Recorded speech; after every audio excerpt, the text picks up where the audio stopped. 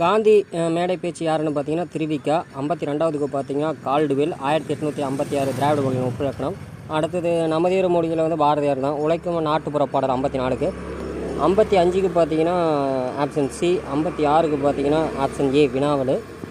ஐம்பத்தி ஏழுக்கு பார்த்தீங்கன்னா தண்ணீர் தொட்டி தான் பொருந்தாது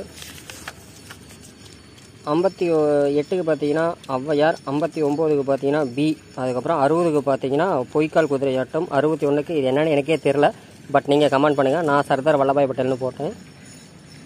முப்பத்தி ரெண்டுக்கு பார்த்தீங்கன்னா வேண்டும் வேண்டும் அதாவது டி வந்து அதுக்கப்புறம் அறுபத்தி மூணு பார்த்தீங்கன்னா ஆப்ஷன் டி பிள்ளை தமிழுக்குரிய பருவம் பார்த்தீங்கன்னா பத்து தான். எல்லாருக்கும் தெரிஞ்சது தான் அதுக்கப்புறம் அறுபத்தி அஞ்சு ஆங்கிலத்தின் மொழிபெயர்ப்பு திருவாசகம்னாவே ஜியூ போப் தான்.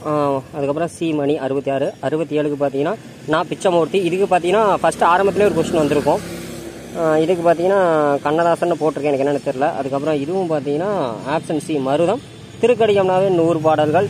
இதுக்கு பார்த்தீங்கன்னா முதலாம் குலோத்துங்கன். முதல் வீரமா முனிவர். எழுபத்தி ரெண்டுக்கு இது வீரமா முனிவர்.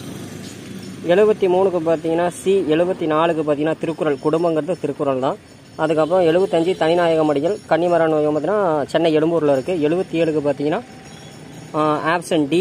எழுபத்தி எட்டுக்கு பார்த்தீங்கன்னா புறா பார்த்தீங்கன்னா குணுகும் அதே குளிரம்னு போட்டிருக்கு. அதுக்கப்புறம் எழுபத்தி ஒம்பது வேலியை பயிர் மீது போல் போட்டிருக்கேன் பி. அதுக்கப்புறம் கூடா நட்பு எண்பதுக்கு ஏ. இன்னும் ஒரு எண்பத்தி ஒன்றுக்கு பார்த்தீங்கன்னா காலப்பெயர் அதுக்கப்புறம் பி அம்பு விடுதல் நாங்கிறது நாக்கு அதுக்கப்புறம் எண்பத்தி நாலுக்கு தாலாட்டு எண்பத்தி அஞ்சுக்கு பார்த்தீங்கன்னா சி எண்பத்தி ஆறுக்கு பார்த்தீங்கன்னா சி எண்பத்தி ஏழுக்கு பார்த்தீங்கன்னா அது பி எண்பத்தி எட்டுக்கு பார்த்தீங்கன்னா ஏ எண்பத்தி ஒம்பது பார்த்தீங்கன்னா மனோர் மணியம் போ சுந்தரனார். அதுக்கப்புறம் தொண்ணூறு பார்த்தீங்கன்னா உலான்னு போட்டிருக்கேன். எது சரின்னு கரெக்ட் பண்ணுங்கள் இது குறவஞ்சி.